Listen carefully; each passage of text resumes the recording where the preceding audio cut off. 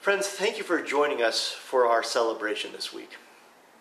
We'd love to hear from you. Please feel free to contact us using our email address, which is office at mpcfamily.org. You can also reach us using the comment section on our website. I've put a link to that in the description of this video below me. I've also included below me here a link to a get to know you section on our website, and we'd love for you to use that if you are new to us, if you're a visitor. We'd like to know who you are, we'd like to meet you. Below me, there's also a link to the online giving platform on our website.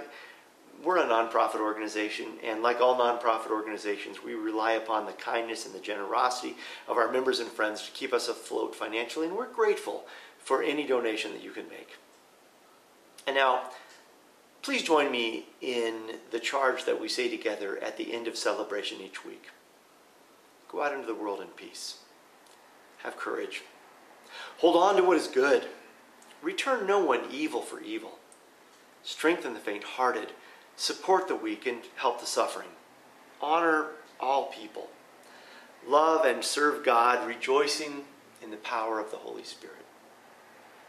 And now, dearly beloved, as you go from this place to whatever else the day holds for you, may the blessings of the God who gives birth to your soul, may the blessings of God who is your truest friend, may the blessings of God who comforts you in the darkest night, may the blessings of God be with you, giving you strength, bringing you peace, and filling your life with joy.